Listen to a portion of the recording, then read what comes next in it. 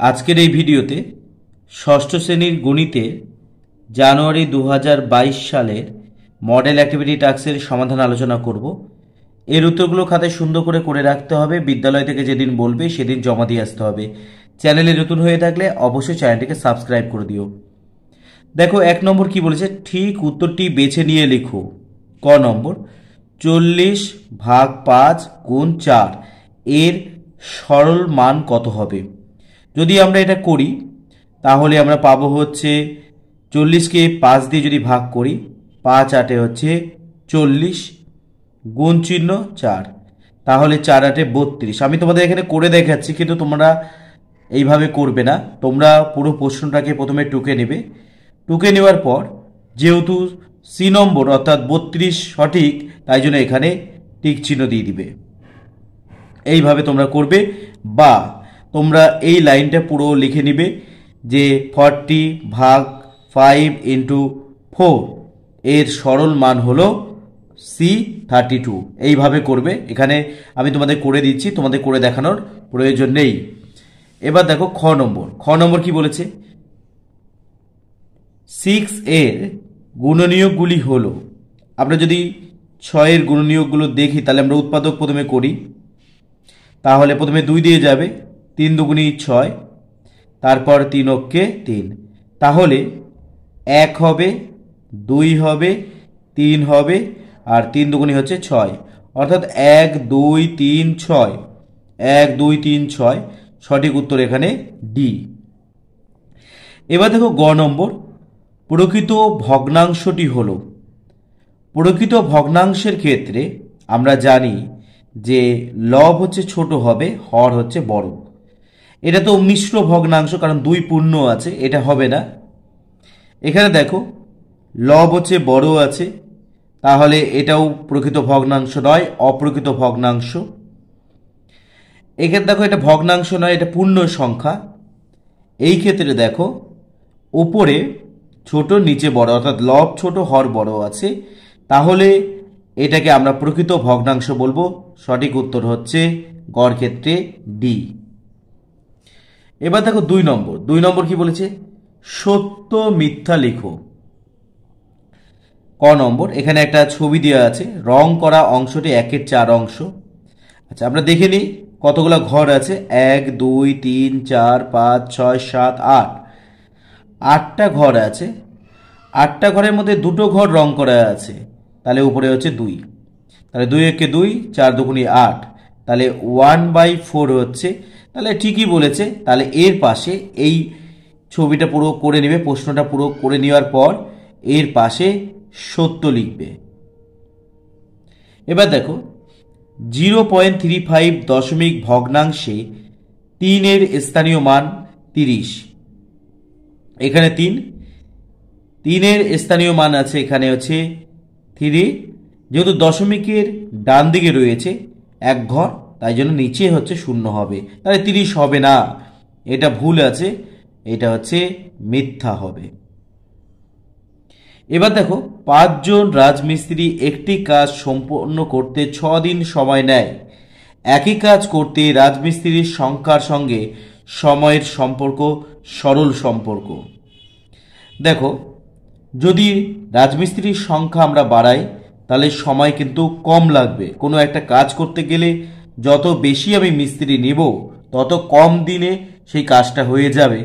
তাহলে এটা হচ্ছে ব্যস্ত, একটা বাড়লে আরেকটা কমে যাচ্ছে, এটা ব্যস্ত সম্পর্ক, সরল সম্পর্ক নয়। তাহলে এখানে হবে হচ্ছে মিথ্যা। এবার দেখো, তিনের ক নম্বর, তিনের ক নম্বর কি বলছে? মানের ঊর্ধ্ব অনুসারে সাজাও। এখানে দেখো দুই নম্বর করে আছে এক একটা প্রশ্নের জন্য। তাই জন্য তোমাদের এগুলো করে দেখানোটাই ভালো হবে। তাহলে তিনের ক বলেছে thirteen point three eleven point three one point three three two point three one এগুলো না করলেও পারা যায়, কিন্তু তবু যেহেতু দুই নম্বর আছে, সেই জন্য আমরা করে দেখাবো। তাহলে প্রথমে আছে থার্টিন পয়েন্ট থ্রি তারপরে আছে ইলেভেন পয়েন্ট থ্রি তারপর আছে ওয়ান পয়েন্ট থ্রি থ্রি তারপর আছে টু পয়েন্ট থ্রি ওয়ান তাহলে এখান থেকে আমি যদি দশমিককে তুলে দিই, দশমিকের পরে একটা ঘর আছে বলে আমরা একটা শূন্য নিচে লিখব। এখানেও একশো তেরো বাই হচ্ছে একটা শূন্য লিখব। এখানে দশমিকের পর দুটো ঘর আছে, তাহলে একশো তেত্রিশ বাই হচ্ছে একশো লিখব। এখানেও দশমিকের পর দুটো ঘর আছে, তাই জন্য আমরা একশো লিখব। এবারে দেখো, কোনো ভগ্নাংশ ছোট কি বড় বের করতে গেলে আমাকে হরগুলোর লসাগু করতে হবে। তাহলে যদি আমরা লসাগু করি, প্রথমে দুই দিয়ে করি, পাঁচ দুগুনি দশ, পাঁচ দুগুনি দশ, পঞ্চাশ দুগুনি একশো, পঞ্চাশ। প্রথমেই দশ দিয়ে করতে হয় না, উৎপাদকগুলো সাধারণত মৌলিক সংখ্যা দিয়েই করতে হয়। আবার দুই দিয়ে যাচ্ছে, তাহলে পাঁচ পাঁচ, পঁচিশ, আর হচ্ছে পঁচিশ। এরপরে দেখো তিন দিয়ে যাচ্ছে না, চার দিয়ে যাচ্ছে না, পাঁচ দিয়ে। পাঁচ ওকে পাঁচ, এক, পাঁচ পাঁচে পঁচিশ, পাঁচ পাঁচে পঁচিশ। আবার পাঁচ দিয়ে যাচ্ছে, মে, হচ্ছে দুটো সংখ্যা গেলেই হবে। তাহলে দুটো সংখ্যা যাচ্ছে। অর্থাৎ এই ক্ষেত্রে আমরা লসাগু কত পাবো? লসাগু পাবো দুই গুণচিহ্ন দুই গুণচিহ্ন পাঁচ গুণচিহ্ন পাঁচ। অর্থাৎ পাঁচ পাঁচে পঁচিশ পঁচিশ দুগুণে পঞ্চাশ পঞ্চাশ দুগুণে হচ্ছে একশো। তাহলে নিচে দশ আছে, একশো করতে গেলে আমাকে দশ দিয়ে গুণ করতে হবে। তাহলে উপরে হবে one, three three, zero, by নিচে হবে একশো। এখানেও দেখো নিচে দশ আছে। আমরা যদি দশ দিয়ে গুণ করি, তাহলে দশ দশে একশো হবে। অর্থাৎ প্রত্যেকের হরটাকে আমি সমান করে দিচ্ছি। এখানেও দেখো নিচে একশো আছে। একশোকে এক দিয়ে গুণ করলেই একশো আমরা পাবো। তাহলে একশো, উপরে হচ্ছে একশো তেত্রিশ। এখানেও তাই আমরা এক দিয়ে গুণ করব। তাহলে দুইশো একত্রিশ বাই কত হচ্ছে? একশো। ঊর্ধ্ব ক্রম অনুসারে সাজাতে বলেছি, অর্থাৎ ছোট থেকে বড়। তাহলে সব থেকে ছোট কত হবে? একশো তেত্রিশ, অর্থাৎ ওয়ান পয়েন্ট থ্রি থ্রি, এটা হচ্ছে ছোট। তারপরে হবে দুশো একত্রিশ, অর্থাৎ টু পয়েন্ট থ্রি ওয়ান, তারপর হবে এগারোশো তিরিশ, ইলেভেন পয়েন্ট থ্রি, তারপর হবে থার্টিন পয়েন্ট থ্রি। তাহলে আমরা এইভাবে চিহ্ন দিয়ে করতে পারি, বা আমরা কথায় লিখে নিতে পারি, মানের ঊর্ধ্বক্রম অনুসারে সাজিয়ে পাই, কমা দিয়ে লিখব সেই ক্ষেত্রে। এবার দেখো তিনের খ নম্বর। টু সিক্স টু সেমিকে মিটারে প্রকাশ করো। তাহলে দুইশো বাষট্টিকে মিটারে প্রকাশ করতে হবে। তাহলে খ নম্বর। টু সিক্স টু সেমি আছে। সেমিকে মিটার করতে গেলে ভাগ দিতে হবে একশো দিয়ে।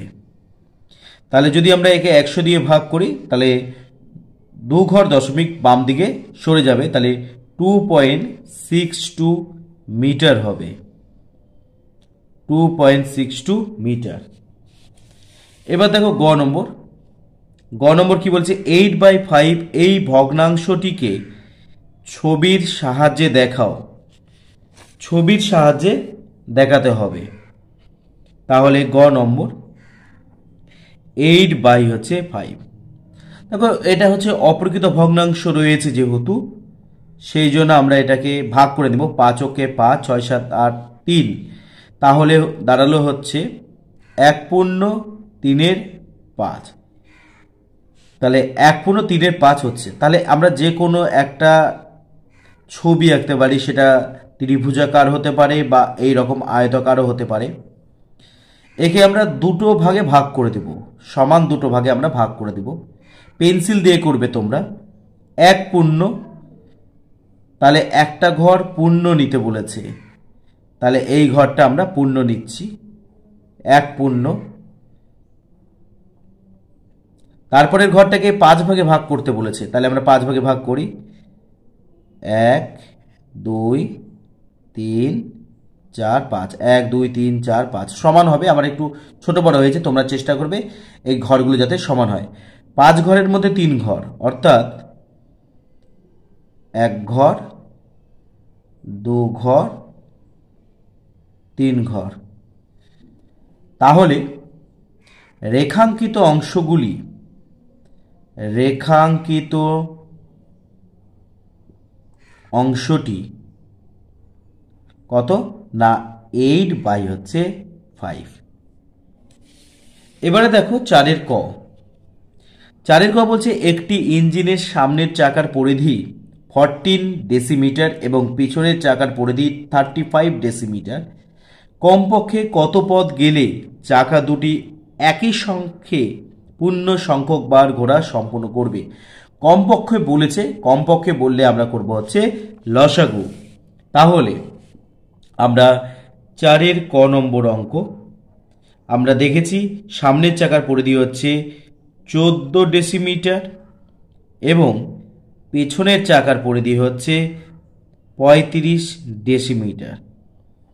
তাহলে আমাদেরকে লসাগু করতে গেলে আমরা উৎপাদকের মাধ্যমে লসাগু করছি, সাত দিয়ে দিতে হবে, সাত দুগুণি চোদ্দ, পাঁচ সাথে হচ্ছে পঁয়ত্রিশ। তাহলে লসাগু দাঁড়াচ্ছে হচ্ছে seven into two into five তাহলে পাঁচ সাথে পঁয়ত্রিশ পঁয়ত্রিশ দুগুণে হচ্ছে সত্তর ডেসিমিটার তাহলে এখানে যেহেতু অঙ্কগুলো ডেসিমিটারে আছে ডেসিমিটারে রাখলেও হবে বা সত্তর ডেসিমিটার মানে ষাট মিটার তাহলে উত্তর হবে কমপক্ষে কমপক্ষে সত্তর ডেসিমিটার বা সত্তর ডেসিমিটার মানে হচ্ছে সাত মিটার সাত মিটার পথ গেলে পথ গেলে চাকা দুটি চাকা দুটি একই সঙ্গে একই সঙ্গে পূর্ণ সংখ্যক বার, পূর্ণ সংখ্যক বার ঘোড়া সম্পূর্ণ করবে। সম্পূর্ণ করবে।